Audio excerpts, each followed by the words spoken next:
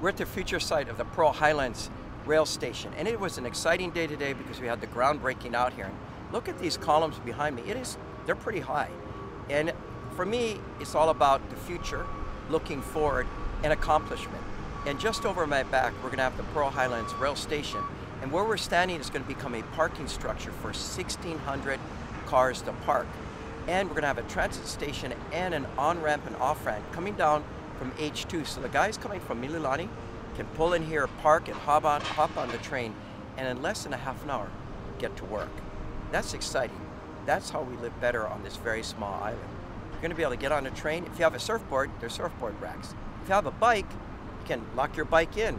If you're in a wheelchair, there's a place where you can park your wheelchair and lock yourself in. And of course, there's great seating on a four-car train that you can see from one end to the other with security cameras. It's clean, it's bright, it's the future, and it's driverless. The first one in the United States of America, happening right here in the city and county of Honolulu. I'm proud to be the mayor of this place. I'm excited to see what's being accomplished with rail. Yes, there are a lot of problems, but there's much to brag about. And today we're talking about what we're doing to make a better life for all of us on this island.